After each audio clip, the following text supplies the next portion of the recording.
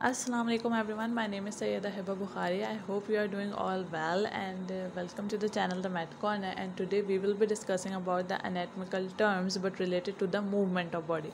So let's begin. First of all the question that came in my mind is what is a movement? So the word movement in general means that it is a change in the position of a body part with respect to the whole body. These movements are possible due to the musculoskeletal system of the body. The movement take place at at the joint. So what is a joint itself? So a joint is a site where the two or more bone articulate with one another.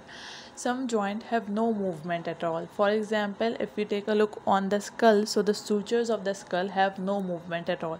While on some joint the slight movement are possible. For example the vertebral column and some joints are termed as the freely movable joint because on these joint a variety of movement are possible. For example the shoulder joint the hip joint. Now let's talk about the main topic which is the anatomical term used for the movement. So let's begin with the word flexion so flexion is the movement around the joint in which the angle between the two joint is decreased or reduced.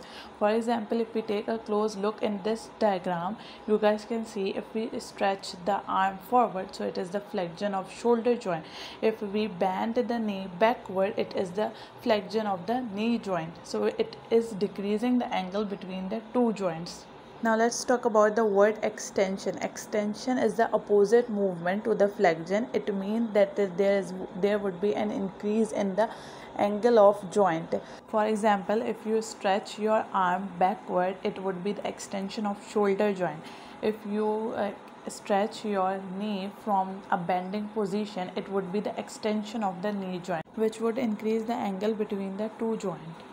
Now the word abduction or abduction is used to indicate the movement away from the midline of the body. As you guys can see in the diagram, if you stretch your arm away from your body, so it is called as the abduction while the word adduction is the movement toward the midline of the body now you pull your hand toward yourself so it would be the abduction of the shoulder now the next term is the circumduction. Circumduction is a complex sequence of movement combining the flexion, extension, abduction, adduction and the rotation.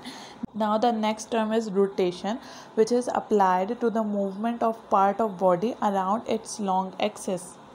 Rotation can be toward the midline of the body which is called as a medial or the internal rotation and can be away from the midline of the body which is called as lateral or the external rotation of the body. Now the next term are inversion and eversion. These are the special term used to describe the certain movement of the foot. Inversion is turning the sole of foot so that the sole faces in the medial direction toward the midline and eversion is the opposite movement of the foot so that the sole faces in the lateral direction that is away from the midline of the body. There are two more special terms which is used to describe the movement of the foot. These are the dorsiflexion and the plantar flexion. The word dorsiflexion refer to lifting the top of foot superiorly as in standing on the heels of the foot. The word plantar flexion refer to moving the sole of foot inferiorly as in standing on the toes of the foot only. Now let's talk about the movement which take place at the wrist joint as you know that in the forearm there are two bone present the radius and the ulna. The radius is toward the side of thumb and the ulna is toward the side of lady finger. So the term radial deviation and the ulnar deviation are used respectively. If you bend your wrist toward the side of your thumb it is called as a radial deviation.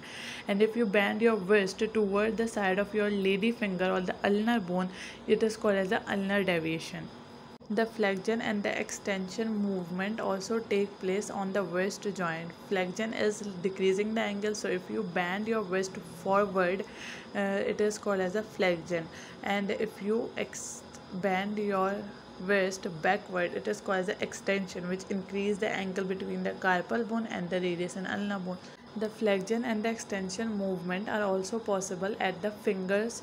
For example, if you want to grab or hold something, it is called as a flexion of the finger. And if you open your hands wide longer, it is called as the extension of the fingers. Now the last term which are used for the wrist is the pronation and the supination. The word pronation is returning the forearm medially in such a manner that the palm of your hand faces posteriorly and supination is turning the forearm laterally from the pronated position so that the palm of your hand come to your face anteriorly. Now the next term is the protraction and the retraction. The word protraction is used to describe the movement of a body part forward. For example, if you bend your shoulder forward, it is called as a protraction, while the term retraction is refers to the movement of a body part backward. For example, if you stretch your chest by stretching your shoulder backward, it is called as a retraction of scapula.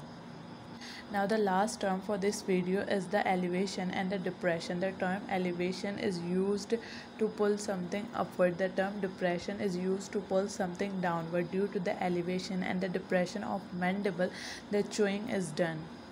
So guys, that's all about today. I hope you guys like the video. If you do so, then make sure to like and subscribe to the Med Corner. See you in the next video. Take care. Bye bye. Allah Hafiz.